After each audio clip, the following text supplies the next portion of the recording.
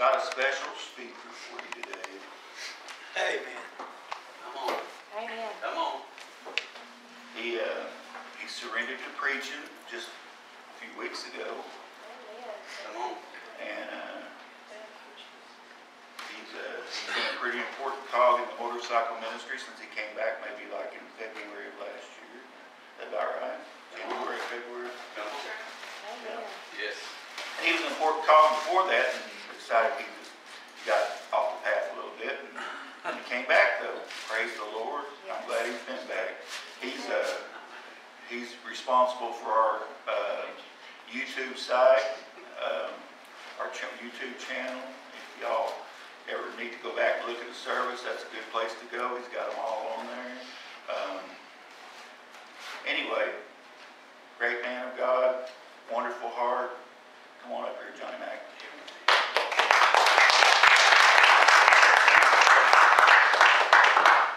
And he's got a weapon on his side. Y'all be out of line, you're in trouble. Just throw it. That's right.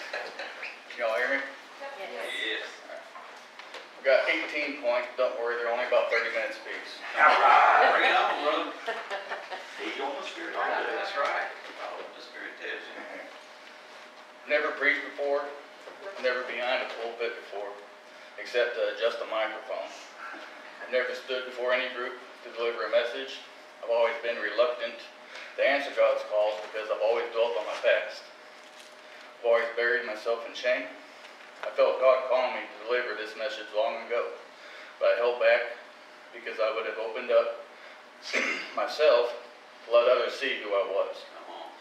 When I started putting this message to paper, I started off by taking the middle road to not reveal the most shameful parts of who I was. I wanted to clean, clean some of that scum off, wash away some of that dirt, so that others wouldn't see how bad I looked, so I wouldn't look as bad in the eyes of others. God said, no, let them see it. Take the dirt road, let them see who you were. This isn't about you, John. It's about me and my glory. Let them see my grace. Let them see my mercy. So I'll go ahead. I'll let God take control, and I'll just be the conduit. There you go. This message will be titled, Can God Still Use Me? Let's pray. Yes. Dear Heavenly Father, Lord, we thank you for this day. We thank you for this opportunity to come together in your house to worship you and to fellowship with one another. Lord, I ask that you speak through me. Don't allow me to put any of myself into this. I pray that you open their heart, their ears and, and their hearts, Lord, and let them hear your words. And if anything of me comes, Lord, I ask that you just quiet my mouth or block their ears. Lord, I thank you and I praise your name. In Jesus' mighty name, amen. Amen. There may be some watching this service on Facebook or watching from YouTube, or maybe in this room, that have a calling from God and are not answering that call. Maybe it's because you don't think you're qualified. Maybe you don't think you're ready to do God's work. Maybe you feel your sins are too many or too horrible to do God's work. Maybe you just don't think God can use someone like you. I've not always been a member of Sunset Terry Motorcycle Ministry. I have not always been active in church. And I haven't always been a Christian. Before those things, I was the worst kind of scum. I was a drunkard. I would sit there and drink until I completely passed out, not remembering anything from that night, acting a fool, causing a lot of trouble, causing a lot of damage. Can God still use me? In Genesis, Genesis chapter 9, verse 20 through 22, I'll give y'all a minute. We're going to bounce all over the place.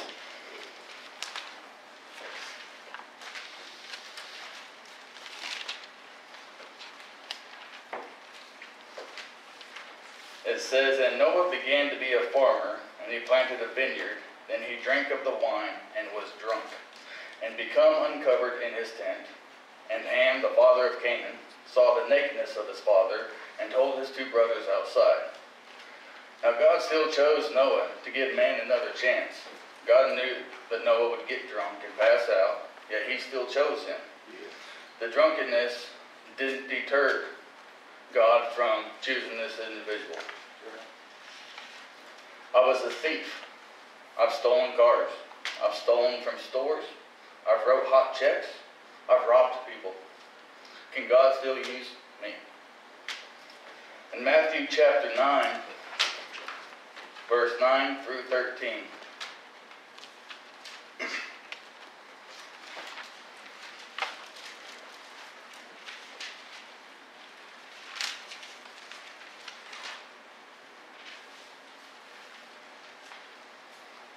It says, Jesus passed on from there. He saw a man named Matthew sitting at the tax office. He said to him, Follow me. So he arose and followed him. Now it happened as Jesus sat at the table in the house, that behold, many tax collectors and sinners came and sat down with him and his disciples. And when the Pharisees saw it, they said to his disciples, Why does your teacher eat with the tax collectors and sinners? When Jesus heard that, he said to them, Those who are well have no need of a physician, but those who are sick. But go and learn what this means. I desire mercy and not sacrifice, for I did not come to call the righteous, but sinners to repentance. In that passage, we see Jesus lump tax collectors and sinners in the same group. Tax collectors are viewed highly in today's times, but back then it was much worse. These were thieves.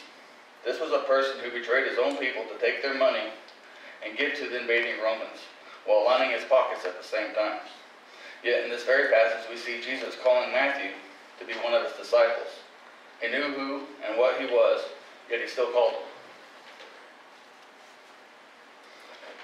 I used physical violence to attack many people, not in self-defense, but out of hatred for other people.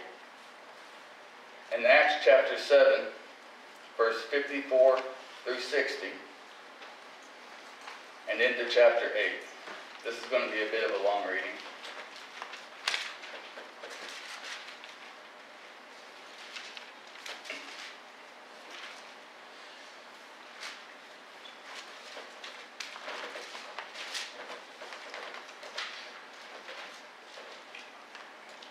It says, excuse me. When they heard these things, they were cut to the heart, and they gnashed at him with their teeth. But he, being full of the Holy Spirit, gazed into heaven and saw the glory of God, and Jesus standing at the right hand of God, and said, Look, see the heavens opened, and the Son of Man standing at the right hand of God. Then they cried out with a loud voice, stopped their ears, and ran at him with one accord, and they cast him out of the city and stoned him. And the witness laid down their clothes at the feet of a young man named Saul. And they stoned Stephen as he was calling on God and saying, Lord Jesus, receive my spirit. Then he knelt down and cried out with a loud voice, Lord, do not charge them with this sin. And when he had said this, he fell asleep. Now Saul was consenting to his death, and at that time a great persecution arose against the church, which was at Jerusalem. And were all scattered throughout the regions of Judea and Samaria, except the apostles. And devout men carried Stephen to his burial and made great lamentation over him. As for Saul, he made havoc of the church, entering every house and dragging off men and women, committing them to prison. In these scriptures, we read how Saul was a ringleader of this great persecution of Christians. He took part of the murder of Stephen and tormented and imprisoned Christians simply because he hated them.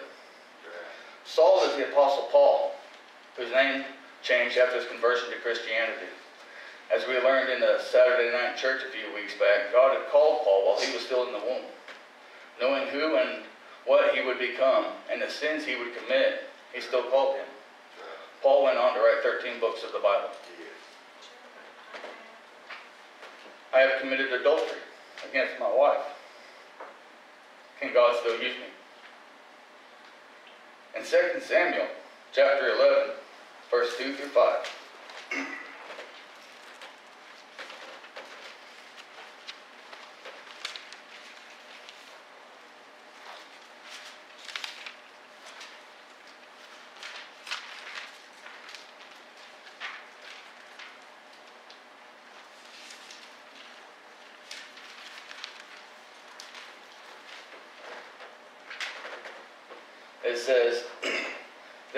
Happened one evening that David arose from his bed and walked on the roof of the king's house. And from the roof he saw women bathing, and the woman was very beautiful to behold. So David sent and, and inquired about the woman, and someone said, Is this not Bathsheba, the daughter of Eliam, the wife of Uriah the Hittite? Then David sent messengers and took her, and she came to him and laid with her. For she was cleansed from her impurity, and she returned to her house, and the woman conceived. So she, she sent and told David, and said, I am with child. In this passage we read how David had also committed adultery. Not only did he commit adultery, but he committed murder. He later had Bathsheba's husband killed, so he would never find out about the pregnancy. Obviously, God knew who David was, what he would become, and what he would do. Yet God still used him to slay Goliath, still called him to be a king, and as Acts 13:22 says, David was a man after God's own heart. Yes. I have turned and ran from God. Jonah chapter 1, verse 1 through 3.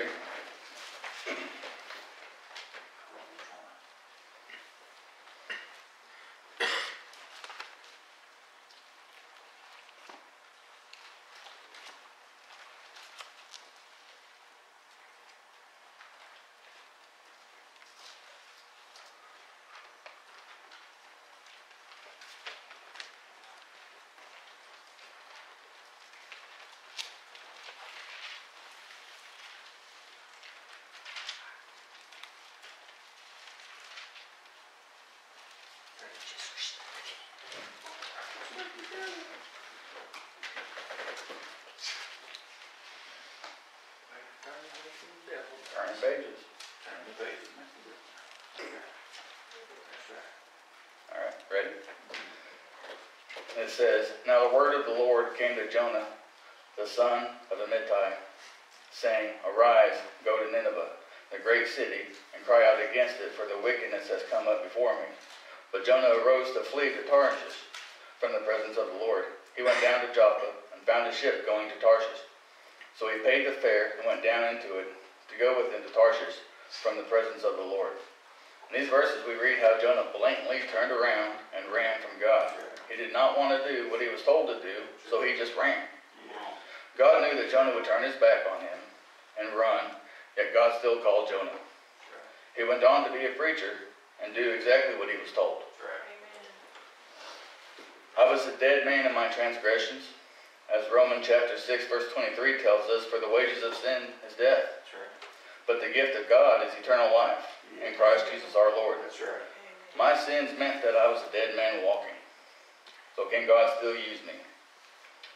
In John chapter 11, verse 38 through 44.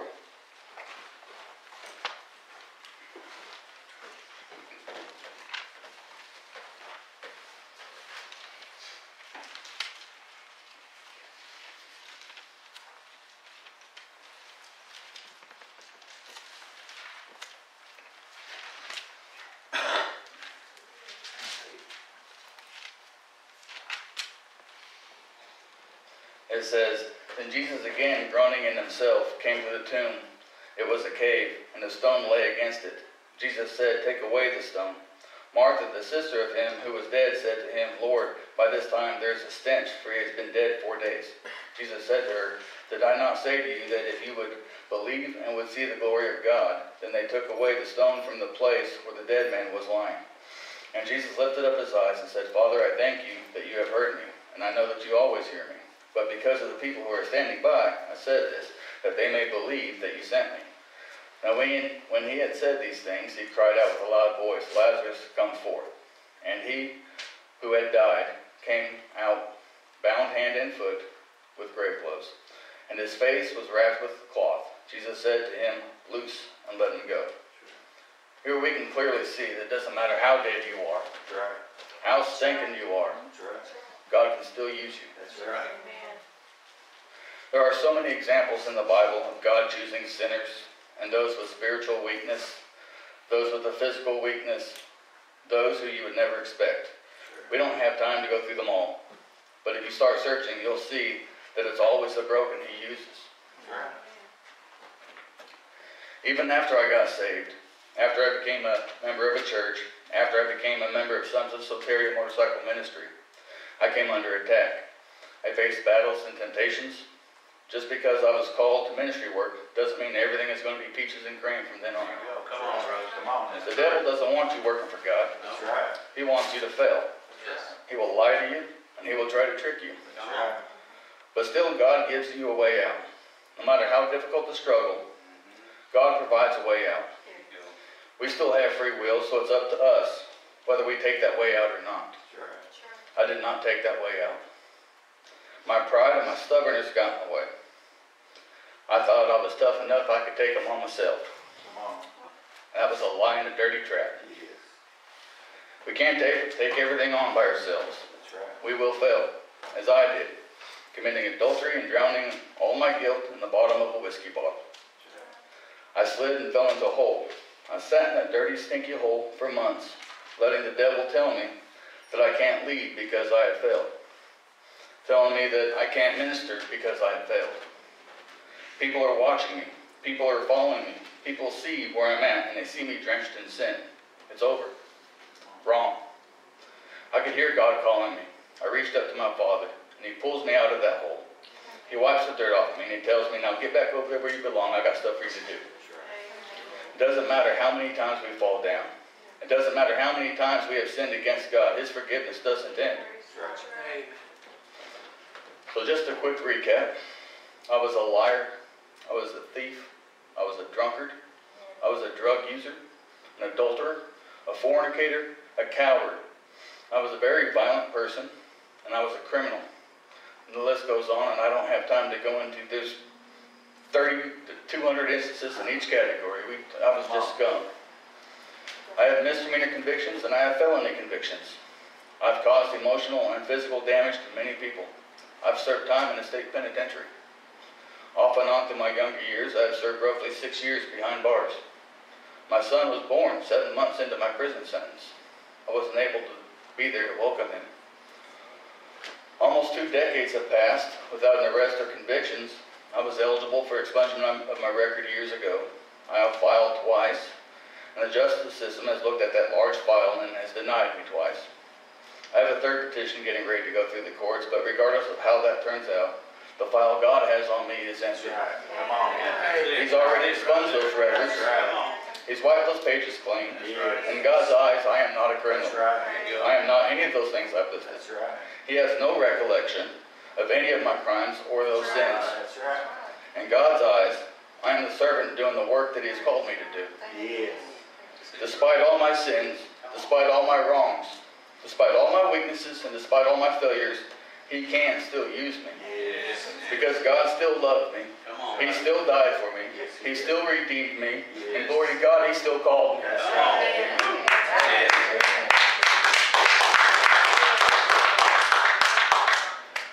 I didn't break those chains, neither can you. Right. We aren't strong enough. No, That's right. There's only one way. Right. You must surrender it all to God. Give Him your sins.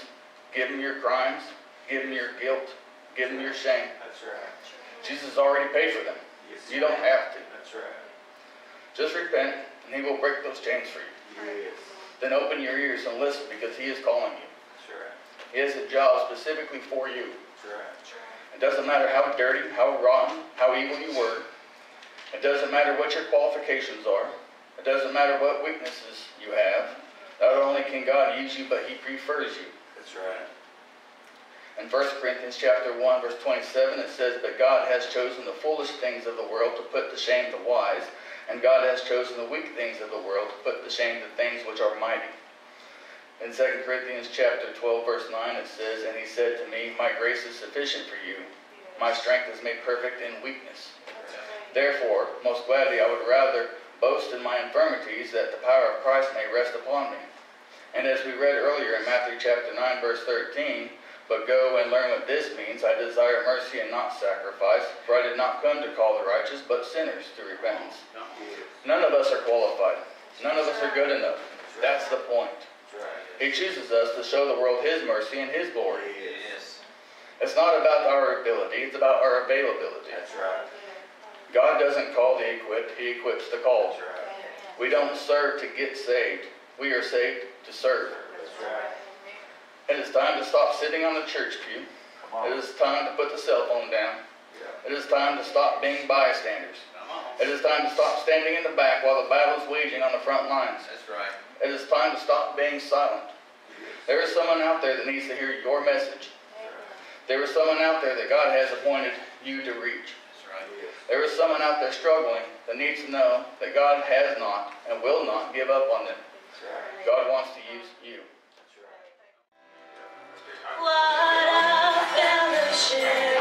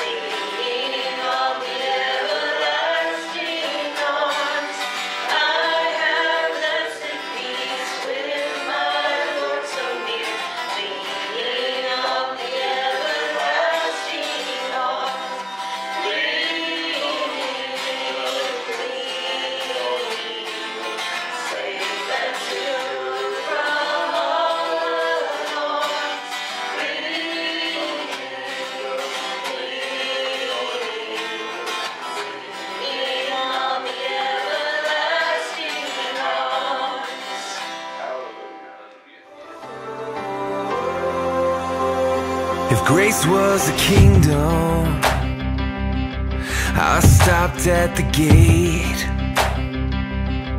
Thinking I don't deserve to pass through after all the mistakes that I've made. Oh, but I heard a whisper as heaven bent down. Said, child, don't you know that the first will be last and the last get a crown?